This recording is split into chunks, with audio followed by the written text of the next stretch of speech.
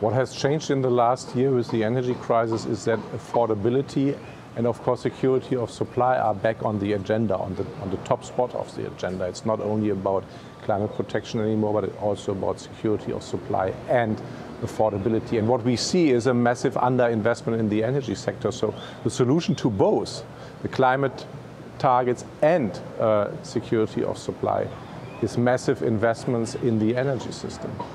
I think we should not exclude any kind of fuels. I mean, it's in the end, and that's what we discussed about emissions and how can we bring emissions down.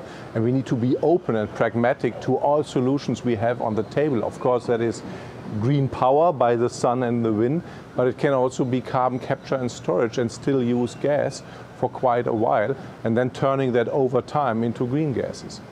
I think we have now the right discussions. Um, I mean, for a long time, politicians have thrown out big targets in CO2 emissions. Now we are discussing big targets of employing technologies, gigawatts, and so on.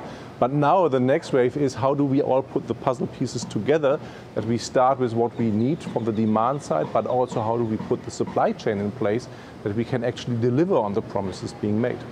And if you ask the consumer, the consumer wants green energy, but he also wants reliable and affordable energy, and it's a highly complex uh, program. So I think we need to be more transparent to make uh, the consumer clear what kind of choices are there and what do they cost. I think basically there is a willingness to pay a higher price for green energy, but not too high. I think every part of the energy industry can play a very relevant role, and I mean, discussing oil and gas, going back, I mean, it was all about renewables, renewables producing green electricity and then green molecules. But now it's totally clear that that will take very long time, and we have actually faster ways to, to decarbonize and put carbon into the ground by also using CCS technology. And of course, that is something where the oil and gas industry can play a very relevant role.